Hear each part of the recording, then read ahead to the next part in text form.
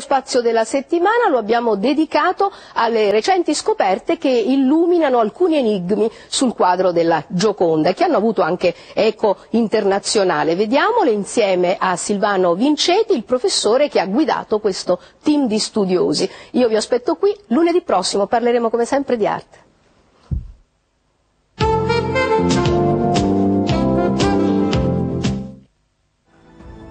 Finora quello definito enigmatico è stato il sorriso, adesso a svelare il pensiero di Leonardo sarebbero invece gli occhi.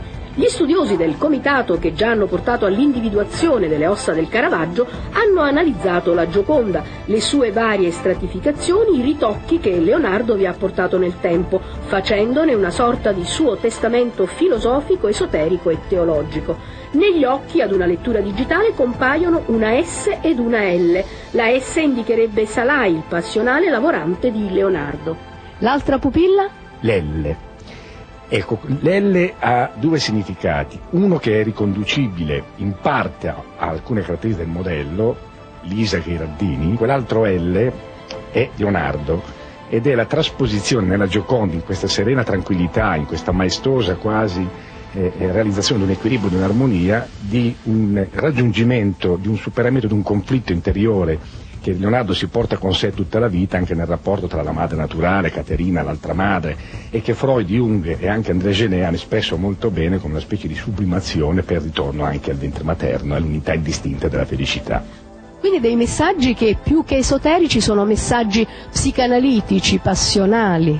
Diciamo che eh, eh, il dipinto di, della Gioconda va vista a diversi livelli, come la Bibbia.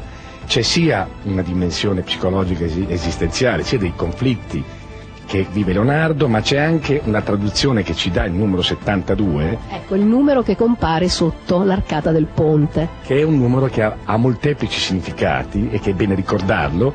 Già nel Vecchio Testamento 72 sono le 72 parole attraverso le quali eh, si pronuncia la parola di Dio.